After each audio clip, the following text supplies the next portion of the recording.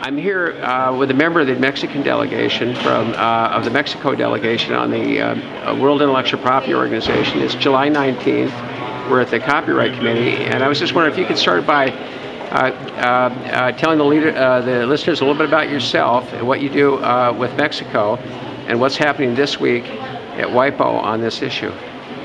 Well, my name is Jose Ramon Lopez. I follow WIPO issues at the Mexican Mission.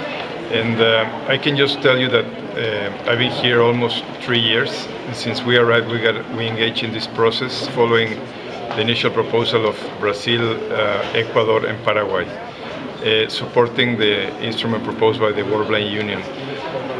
I'm happy to, to say in my personal experience that the process has been moving forward. Since we took over, um, I think we, we have engaged all the countries and we have seen how this is improving and we hope that we are coming to, to a, an end fast. This is our purpose and, and, we'll do all we can do to, to pursue this, this end. What do you, uh, is, uh, is there agreement yet on whether this is supposed to be a, uh, a treaty or some other uh, instrument? No, th this is one of the things that we don't have a consensus. Um, the Latin American groups we propose a treaty. This is our main objective. And there's a possibility to find a, a two-step solution that we'll be able to consider only in the measure that the, the second step, that will be first a joint recommendation and then a treaty, we have said that we can consider this only if, if the second step is very clear and it's going to a treaty. And uh, why is it that a, a, a, treaty is considered to be more important than, uh, for example, the joint recommendation?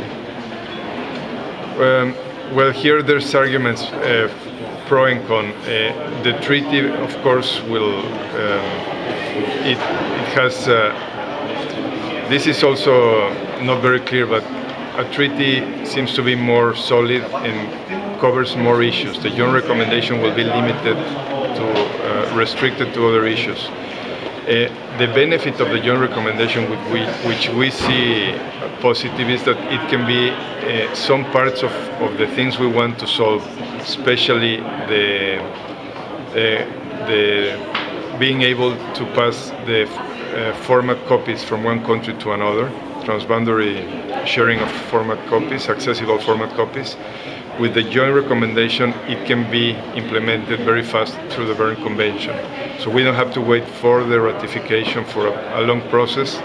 Some people can be already having these format copies very fast. This is the positive things we see in this. The treaty, as I said, will cover uh, much more clearly all the issues and solve many doubts that the joint recommendation cannot do. Uh, for, for, most people to do import and export of uh, laws, wouldn't they have to change their domestic law to permit the export of accessible copies? They do, but for many countries, it, it can happen already. And for the United States, would they have to, uh, you think they would be able to, um, or Spain, would they be able to export their, their copies without uh, changing their domestic law? Uh, this, uh, I really don't, I'm not, don't have the information in this moment but still it's the same equation because uh, if there is will, they can do these changes. Uh, some treaties, we have the sad experience that many treaties take many years to, to implement. Uh-huh. And uh, does the does the Mexico law currently permit import and export of accessible works? Uh, currently, no.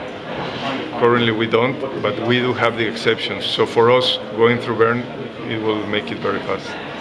Okay, and so uh, for a person who's blind, who's living in uh, Mexico, uh, what would the impact be of solving the import-export problem, either uh, uh, through a treaty or through any mechanism, uh, so that you could share works between countries that are accessible? you know, I think mainly here the key issue is, is Spain because Spain they have a, a very strong blind association called ONCE and they do have a lot of uh, information to be shared. So this will be key, you know, like to if we can get this this going, it will be uh, beneficial. But uh, you know, like at the end, we're all working through a process where I think we can uh, improve all our systems. This is the, the aim. Thank you very much. Is there anything you'd like to add before I uh, conclude the interview?